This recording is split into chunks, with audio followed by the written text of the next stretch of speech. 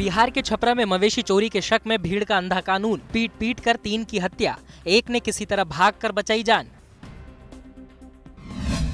UP के सोनभद्र में 10 लोगों की हत्या के बाद सियासत, पीड़ितों से मिलने पहुँची प्रियंका गांधी, योगी का वादा, दिलाएँगे इंसाफ। भाई पर आयकर विभाग की छापेमारी से आग बबूला मायावती, बीजेपी पर सियासी साजिश का काउंटर अटैक, बोली पहले 2000 करोड़ रुपए के चंदे का दे हिसाब। भूमाफिया की सूची में नाम दर्ज होने के बाद एसपी सांसद आज़म खान पर कसा शिकंजा? ज़मीन हथियाने के 10 नए केस दर्ज, एसआईटी को सौंपी गई जाँच।